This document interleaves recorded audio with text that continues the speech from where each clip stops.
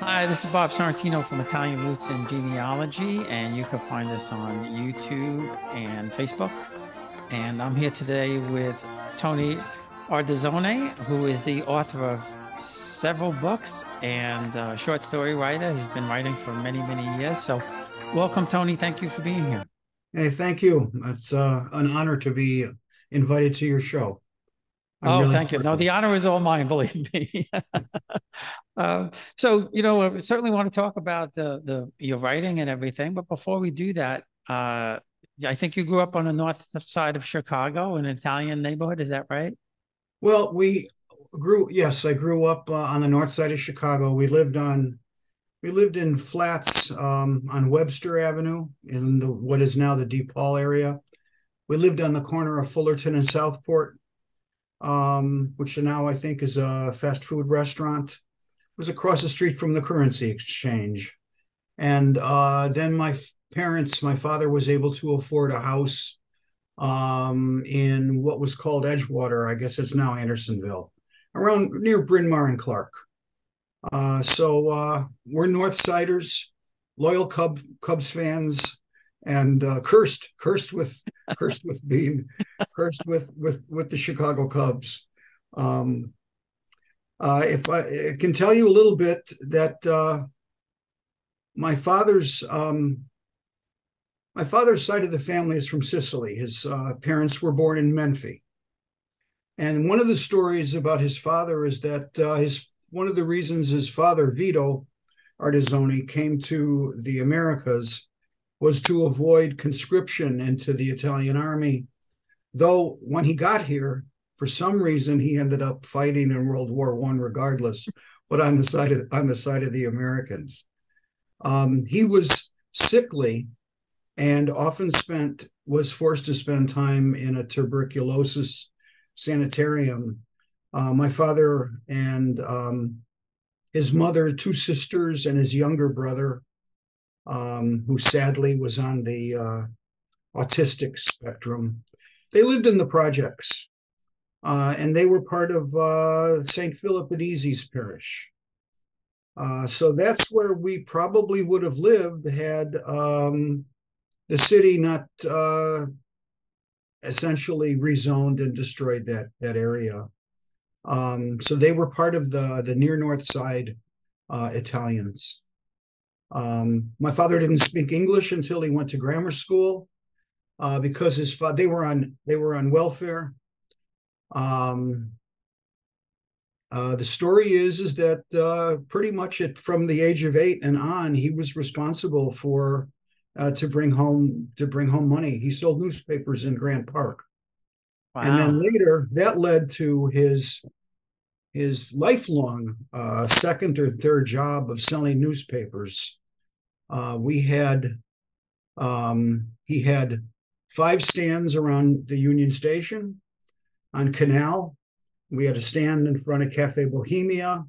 We had uh, uh, one in, outside of Florsheim Shoes. Uh, and he also, on the weekends, back when there was uh, theaters and movies, he would sell the Sunday paper on Saturday nights. Um, he worked since the age of eight, and I'm uh, I got to say I'm proud that when I was eight, he needed me, and against my mother's wishes, it was a, a winter evening. That's when I began. He took me on Saturday night, um, and I, I I had to I had to stand by a, uh, one of the newsstands. Uh, he said, "Don't do anything. If they rob you, let them." You know, um, I made a lot of tips. My mother put me in so many clothes I could hardly move my arms. Um, but we, he, it was a lifelong activity, and throughout my whole life, um, I and my brothers helped him uh, with the newsstands, and that was a lot. That basically, uh, the newspapers um, were able, were allowed us allowed him uh, our family. We had five kids allowed him to then uh, be able to put down money on a mortgage on a house. Wow, uh, fantastic. Yeah, that's fantastic. So, as far as as far as my Italian American experience, it was solely with my father's family, and my mother. Um, my mother didn't speak Italian. My mother. There's some question. Well, we didn't know when we were growing up, but she was born out of wedlock, raised by grandparents. They were pretty stern and pretty mean. Um, they were uh, French speaking Germans. I think the mother was born in Alsace. Hmm. And it was always something I thought, well, I never felt really, we never felt really comfortable. There were five of us in the family. And I always thought, well, they don't like us because we're Italian, or maybe we're too noisy, or maybe, you know, maybe there's some other reason.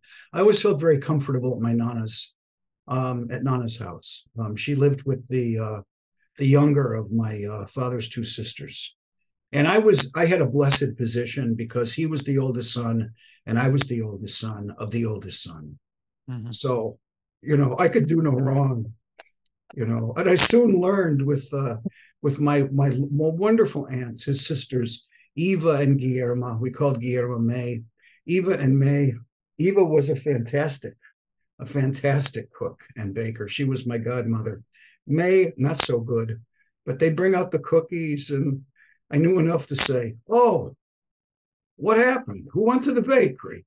And then May would say, Nana, did you hear what little Tony, what little Tony said? He wants to know. He wants to know who went to the bakery. And then I would say, Miskino. And then and then I would say, Oh, and they'd say, try them, try them. And I knew whose was whose. And I would, of course, praise them to the, you know, praise them to the heavens. Oh, this is so delicious. I can't, but someone made these, you made these. So so I knew I knew how to I knew how to put a smile on their face. That's that's a great story. Yeah, you know, we I grew up like that too, all my aunts cooking everything. But uh, but a couple of things on what you said was my um my grandfather. Well, before I do that, my favorite because I used to work for Chase. I used to go to Chicago a lot. I know exactly what you mean by uh, you know Grant Park and and the station because one of our office buildings was just like two blocks from from the from the station. Mm-hmm. Um, but my probably one of my all time favorite restaurants, which I know is I think is gone now, uh, was Rose Angelis. Mm. Um, and uh, it was in a it was in a house basically on a on a you know regular street and uh, they converted the, the downstairs of the house into a restaurant, and it was it was fabulous. Uh, but my um my um, mom's parents came because my grandfather had fought in the Libyan Libyan War in I guess 1911 or something like that. And when World War One was breaking out, uh, she said, "You're not going to fight in another. You're not going to leave again. You have, you know, he had at that time I think they had two children, and so they came to America uh, because um, I th- I think um, my brother, my grandmother's brother, or my grandfather's brother was here. Um, but I fully think they want they plan to go back because they left my uncle there. Yeah. Um, so, you know, uh, interesting. And I have a little bit of a newspaper background in that my dad was a photographer for the Daily News in New yeah. York City. Um, but I have to ask you. So now your your father was born here. Yeah. Yes. But he yes. didn't speak. He didn't speak English until he went to school. Right. No. And, and, and so, what year was he born? Uh, 1921. Uh, so right about the same age as my dad, 23. Yeah. Yeah. Yeah. And um I met his friends. I would meet his friends at uh, at weddings and they would talk about uh they would talk I would ask all the questions I could about my father. My father was a very my father was a very hardworking man. He was a little anxious.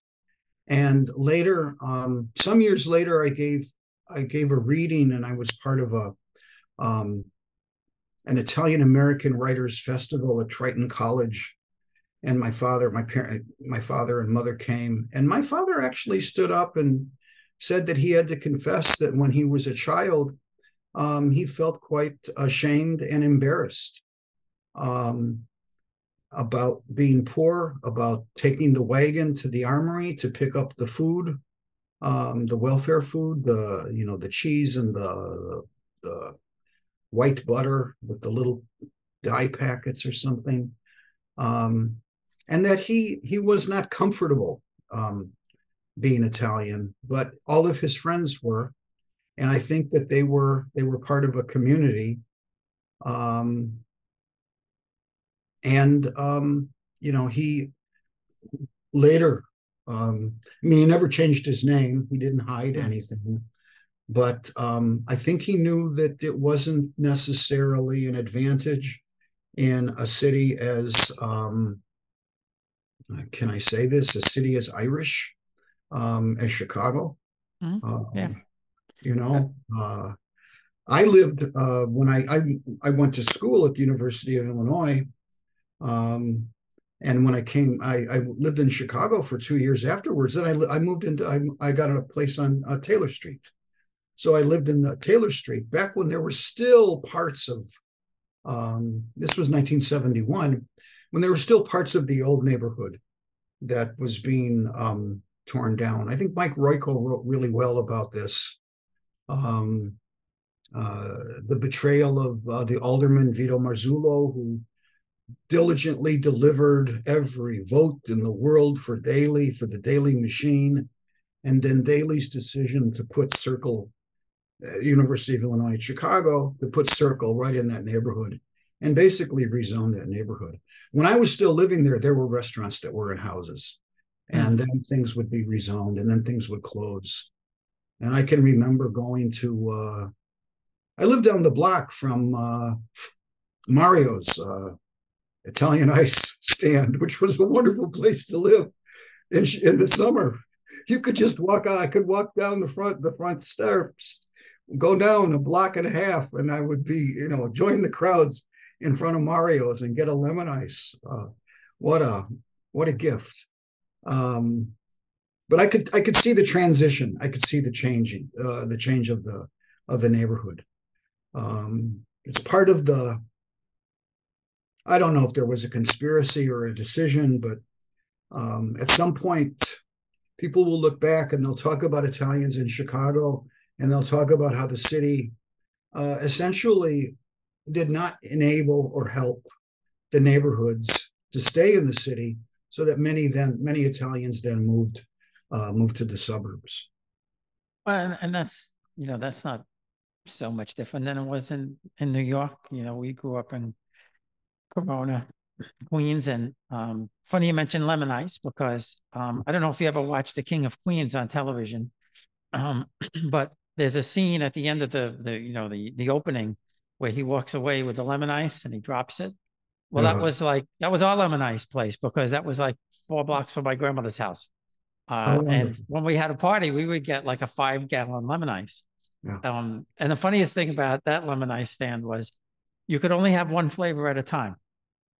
You, you, you couldn't ask for like, you know, strawberry and lemon. You had, you could have lemon or you could have strawberry, but you Yeah. weren't allowed to mix. It was like, it was like the soup Nazi. you know? Mm-hmm. So you couldn't ask for two. So you couldn't ask for one one one of each. No, you couldn't ask for, Oh. a s- you couldn't ask for a scoop of one and a scoop of another in the Okay, same. all right, all right. It wasn't allowed. Yeah. But it was great lemon ice because he made everything with fresh fruit. I mean, it was really Oh. like if you got blueberry, it was there were real blueberries in there. Oh, I don't, I don't know. It's in this heat. Um, boy, I, I, it's, it's a wonder why, it's a wonder why, um, eh, they haven't, uh, commercialized it and why it's not common all over. Well, Um, but you know, when they do that, it's not the same anyway. Know, Exactly, They, they, exactly, they, they, yeah. they start taking shortcuts and they change the ingredients and it has Yeah. the name, but it's it's not going to taste like the original lemon ice. But, uh, you know, I I I used to. I had one girl working for me from Chicago, uh, Khadidra, and um, we were in New York City one time in Little Italy, which is practically gone by now. But there was a little small little bakery there, and uh, I said, uh, I said, come, come with me. You you have to go in. We have to go in here. And she says, why? I said, we're gonna go inside. I'll tell you why when we get inside. So we get inside, and I said, this is what I smelled when I was growing up. Ah, Yeah. This is the way it smelled. And she says, you're kidding. I said, no, this is we this is the way it smelled in an Italian bakery when I was growing up. Uh, and you know, other people don't they don't know that experience, right? yeah, yeah. No, absolutely. Um, it's, it's truly the case. And I, I can remember, yeah, now that you, now that you talk about it, I can remember um, all the occasions at Nana's house, um, the smells in the kitchen, and then I would go down the hallway and I'd go into the front room, and the men would be sitting around the TV, you know, with the rabbit ears, with the aluminum foil on top, watching whatever game was on. Um, nobody smoked, um, so there was not much of a smell there. But then I would go down the hall and then uh, uh, go in the kitchen and listen to the women, and they were they would just be uh, cooking and working. Um, how it was it was truly wonderful. Yeah, and and you know this, and I was said this the other day. The stuff that will come out of those kitchens and the heat, no air conditioning, and they would be there all day, all day. Absolutely. Uh, so that's all I have to ask you. So, growing up like that, I'm sure you had some non-Italian friends that you brought home for for dinner, uh, or to Nona's house. What was what was that? What was their experience when they saw all that food? Oh, they they were amazed. Um, my and my mother did her very best to cook the meals that um, Eva and May would give her, though they would remind her that she never could get it quite right. Um, I should go back and say that, according to the stories, my father was supposed to marry Carmela. Carmela's family lived in the projects. She was half Sicilian, half Mexican and they could read and write. So they were the scribes for mm-hmm. people. They would write letters and they would read letters. Uh, both of my grandparents uh, were illiterate. Um, and I often told my mother, I say, you know, if he had married Carmela, I'd be able to speak Italian and maybe some Spanish. When I was in high school, I took Spanish. Uh, and I said, and I, I, I, I could be bilingual, trilingual. And she would say, But then you wouldn't be here. And I'd say, No, Ma, I'd still be here. She said, Oh, she said, you wouldn't, you wouldn't like Carmela. She sends us cards from California. You should see her. Um, right now she's as big as a house. And she would there would be a picture of lovely, this lovely tanned woman in a muumuu. And indeed, she was um, um, she was a beautiful woman. Um, but I would I would joke with my mother um, about that there's a story about my mother um, that they never they never ceased telling. Um, one that my mother really didn't like. Um, Nana said, uh, told my mother that she should give bring her the eggs for the pupikulovi. So my mother then got a dozen eggs. Said, "How many do you need?" She said, "A dozen." So my mother got a dozen eggs and gave it to her. Um, no one told her that they should be hard boiled. So so so so when they made the pupiculovi, they discovered that that she hadn't that she hadn't hard boiled the eggs. But uh, the the friends' reactions were that they were extremely impressed with the food, and particularly Aunt Eva's. Eva would feed the neighborhood, um, and she could make a plate of uh, a pasta with uh, uh simple lentils. Mm. And she said that uh, the, the, kids were just the kids would just go crazy uh, and and and enjoy and love love the food. Um, yeah, I, I, you know I miss those certainly miss those days. That's for sure. Yeah. uh, so I want to talk about your um, your writing. You're prolific. Uh, you've written many books, many short stories, and in fact, I think you just had a book released recently. Correct? Yeah, I uh, the book is called In Bruno's Shadow. Here's a copy um, a uh, pub, uh, publishing company in Canada, Guernica Editions, that publishes a lot of work by uh, uh, both Canadians and North Americans, as well as Italians, people of Italian uh, of Italian descent. Uh, and Bruno's Shadow is set in Rome during the the months prior to the death of John Paul II and has a sequence of stories, interconnected stories of both Americans and Italians um, in Rome at that time. A lot of description of Rome itself. Um, some of the readers have said that uh, it's a, a, marvelous trip to Rome, and it certainly, I think, if you go if you get a copy and you read it in an air conditioned home, it might be a less a little bit more pleasant than right now. I read that what is it? Rome is 112 degrees. Fahrenheit. Um, uh, in the book, um, there's a variety of characters. What I tried to do was I went to Rome in search of ideas for a book, and then realized that I could find the ideas if I just simply observed uh, the the art. Uh, there's a lot in here about Bernini's statues. Um, there's a character, a performing artist who, uh, a street artist who imitates Caravaggio, dresses like Caravaggio, and then performs different scenes from Caravaggio's life. There's a scene where he's in a restaurant and he he he rigged it so that uh, the waiter brings him the plate of artichokes. This is the story where uh, Caravaggio asks if the artichokes were cooked with butter or oil, and the waiter says, "You taste them." And then Caravaggio threw the threw the dish of artichokes at the waiter, and then there was a tumble and a fight. So um, what I what I tried to do was to recreate in a kind of vivid and contemporary way aspects of Rome and um, bring Rome alive. And uh, that's in Bruno's shadow. Bruno refers to the statue of Giordano Bruno that's in the uh, Campo di Fiori. Uh, he was um, he was, I think, a, a Benedictine. He was uh, he he left he left the order. He was imprisoned. Um, he had some beliefs that were heretical. Hmm. Uh, one of them was that uh, the Earth wasn't the center of the universe, and you know, I, I, think Galileo had some of those similar ideas, but Gal- Galileo recanted and wasn't killed. Bruno didn't. Uh, Bruno was brutally killed, hung upside down, um, and burned to death. But Bruno believed that uh, um, an infinite God, an infinite loving God, created us. And given the idea that Earth was not the center, that there were an infinite universe and an infinite number of suns, wouldn't it make sense that there were an infinite number of planets around those suns? And wouldn't it make sense that there were other God created beings? This is heresy. God created it's, beings. It's heresy now to some people. exactly. Though, though some though there's though there's channels on TV that keep saying it's true.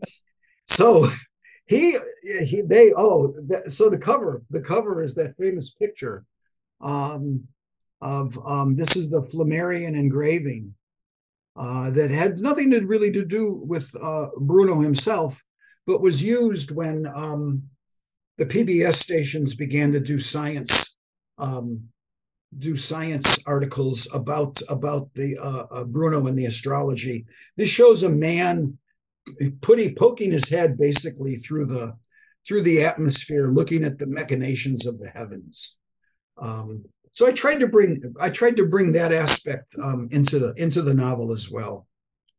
So um, I, have you been back to Italy, you know, many times? I mean, how many times? yeah, I was able to. I was able to go to Rome at least five times. Oh, nice. Um, and I was there in 2004. Uh, the book may, essentially begins on the morning, December 26, 2004, the morning of the South Asian tsunami. And the Pope died the following April. So I thought that was a perfect time to set the book. Mm-hmm. and I took lots of notes and I went back and I went back. Um, some of my early books were about Chicago and um, there's a little oh there's also a north sider in the book and a south sider in the book. Uh, there's a little bit of chicago in every everything i write. Well um, that, that makes sense. Uh, that's kind of kind of your thing i guess right? Yeah. Well you write what you know. Yes yes. Okay? you write what you know. So um uh, one of the characters, uh, she lives on the south side, uh, and her father, um, her father uh, owns a bar, and they live upstairs. So I was able to write about a, a typical Chicago bar. Uh, at the time, uh, on the walls are pictures of the Saints, John F. Kennedy and Mayor Richard J. Daley. The TV's in the corner, and they're watching. You know, they're watching the the Cubs game or the White Sox game or the Bears or the Bulls. Um, you know, the men are at the bar, you know, and the daughter, the daughters, one of the daughters' jobs is to empty the ashtrays and and to work in the bar. So, um, when you've got when you've got access to information like that, details like that, of course, um, you know, it, it's an invitation to use them to use them in work. Um, I like I very much like Chicago and um, um, and now it's become a, a, kind of habit. There's a there's some Chicago, even though I live now live in Oregon, Portland, Oregon. Um, I go back periodically, um, and uh, I'm I'm I'm amazed at the changes, but I'm also very happy to see that some things just simply haven't changed. Uh, yeah, I have. I used to go. Um, I used to go to Chicago like uh, six times a year for like a week. Yeah. So, you know, for several years. So I got to know pretty well. And it was a great walking town, great restaurant town. Um, and uh, you know, easy easy to get around and, and find your way around. I used to I used to stay uh, like on uh State Street and then then walk over to we were by the river. Mm-hmm. Um, you know, by this by Union Station. So it was a you know maybe a mile walk, but it was always it was always a nice walk. Um, so I'm intrigued uh, because I, I, read a great book just recently and interviewed Carlo Trevisi, who uh, Treviso, who uh, who mm-hmm. wrote about um, Sicily in you know 1250. Yeah. Um, so you know whether somebody wants to write for themselves or um, you know, write their personal experiences, their family experiences, or wants to write a fiction book. I'm in I'm in awe of people who write fiction because building characters and all of that. So what kind of advice do you have for people who want to maybe just, you know, write their family history? I would say start. And um, I think that most people who have success with a project schedule time and then and don't just start it and then abandon it. Um, I like to work on a schedule. Um, five five days a week for a couple of hours, and don't worry about making it perfect. Uh, when I taught, I taught creative writing. Um, I had a position at Indiana University, um, and when I when I talked to my writers, I would tell them a story. And I said, I would say, there was one summer when I got a job as a janitor. And let me tell you how we started. We went into a corner of the room and we had tiles and we counted out nine tiles in the corner and then we swept them and then we washed them and then we waxed them. Oh, we let the, we let it dry, then we waxed them and then we buffed them. Then we moved on to the next nine, and they would like look at me, and I would say, Of course, I'm lying, but I'm talking about the way that you often try to write. You try to make it perfect from the beginning. No, what we would do is we'd clear the we'd clear the furniture, then we'd sweep the room. And this is true. Then, then we'd wash the floor. And while, while it dried, we did the next one. Mm-hmm. Then we wax it, and while it then, and I often was the guy with the with the machine, with the buffing machine. So you know, you don't do everything at once. I think a lot of people they try to be too perfect, and then, you know, um, they don't get it right. How do you learn how to play the piano? What if they said hit only the right notes? I wouldn't. Yeah. I wouldn't. You know, I wouldn't do anything. But people do that with with writing. They freeze. So the the the best advice I would give is do it on a regular basis if you're serious about it, and don't don't beat yourself up. Three days a week, two days a week, five days a week, whatever fits into your schedule. Sometimes at night, and don't be perfect. Make mistakes. Just get the get the black on the white, get the ink on the page, and you know, and then after a while, you'll get a little momentum and then you'll oh after a while you're you'll get into the idea and during the day you'll have ideas of what to put down then jot it on a note stick it in your pocket the next day you know um, then you know you get a little bit more yeah I, you know and i wrote when I wrote the first book about you know my research and my family yeah. and and uh, you know the ancestors going back you know like a you know thousand years or something like that. I, changed direction like five times on that one. Yeah, because I I kept and maybe that's that's what you're saying because I kept trying to get it right, yeah. and and I couldn't you know so i kept i kept changing it and then and eventually i you know i found out where i, I wanted to be with it and, and go from there the second one that just came out was about my my life in banking and my experiences there and uh that was easier because i didn't have to research it was all on my head mm-hmm. you know mm-hmm. and i didn't have to do all kinds of footnotes and things like that uh and i'd really really like to try a fiction book but i don't know how to build a character and i think that's that may be not just me, but other people too. You know, if you want to write a fiction, or I'd like to do a historical fiction about my family. Uh, but I'm stuck on how do I start to build a character? How do you build a character?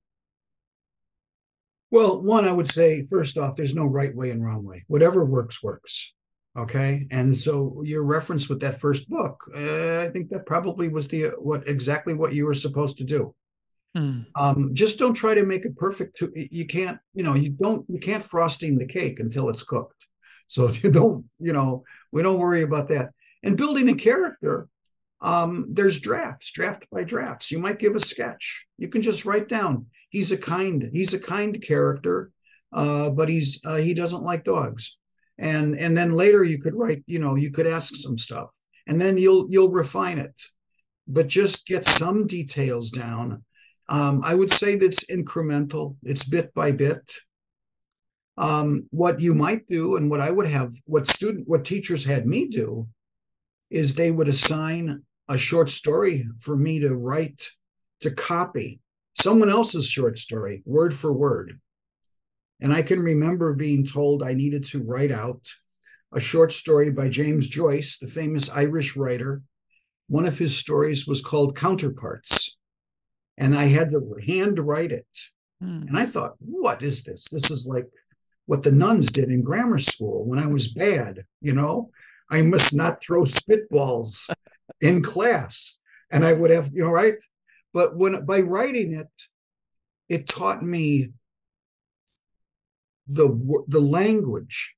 I would say that it would probably be similar if if if you were teaching a young mus- musician, say a trumpet player, to learn and imitate exactly and then you give them say something by uh, by Louis Armstrong and then they have to they have to try to play it to learn that to learn to, to go through to, to, go through that motion so that's that's something that you can do um, there's a bunch of books that are that are out one of the ones that i very much like is bird by bird hmm. um, by anne lamott um, she tells the story that uh, um, her brother was the type who would procrastinate, and he had to do a research project on birds. And the night before the project was done, he was sitting at the table, stacks of books about birds. And he said, How am I ever going to do this? And his father came by and put a hand on the boy's shoulder and said, bird by bird, son, bird by bird. and I mean, and that's that's that's writing. That's it. Just get it down. And if it doesn't, and if and if and if you're stuck, then go somewhere else. You know, it's only a you know, right? It's uh I I talk to my students, I try to use a lot of metaphors. Uh, you know, how do you clean the house? you're gonna you're gonna get nowhere if you start to dust and then say, "Oh my God, I have to vacuum." Oh my God, look at those dishes. Wait a minute, wait a minute, I have to take out the garbage. No, just do one thing at a time. You know, if you want to dust, and dust a little bit. Uh, it'll. Uh, the important thing is to is to to put in your time and not beat yourself up and try to enjoy it. Um, yeah, and that's you know that's fine. That's kind of the conclusion I came to, and yeah. And, um, you know, there were times, you know, to your point, I tried to stay on a, a certain schedule. I, I found like for yeah. me, it was, I don't know why, it was like three o'clock in the afternoon for a couple hours, you know? Uh, but, you know, to your, and then, and then there were times where I just I had to stop for a while.